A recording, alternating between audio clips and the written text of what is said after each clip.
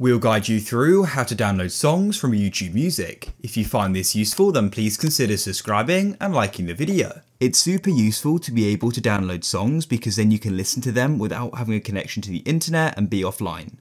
So we can do this with songs or your entire playlist as well. Now it's important to note to do this, you will need to go and have YouTube Premium. So if you go and find a song to go and do this with, I'll do it with this one here, go and click on the three dots, you'll see a list of options. One of them being download. So go and click there. As you can see though, you need to go and get uh, YouTube Premium. At the bottom, it gives us the option to go and get Music Premium like so. I already have YouTube Premium on another account, so I can just go and click on download like so, and it will then go and start downloading just like so. After it's finished downloading, it'll go and have a tick next to it, and that means you can then go and play it offline. It's that simple. If you wish to download an entire playlist, come to library in the bottom right, then you can go and find the playlist and you can go to the left and click on the download button. It's that simple.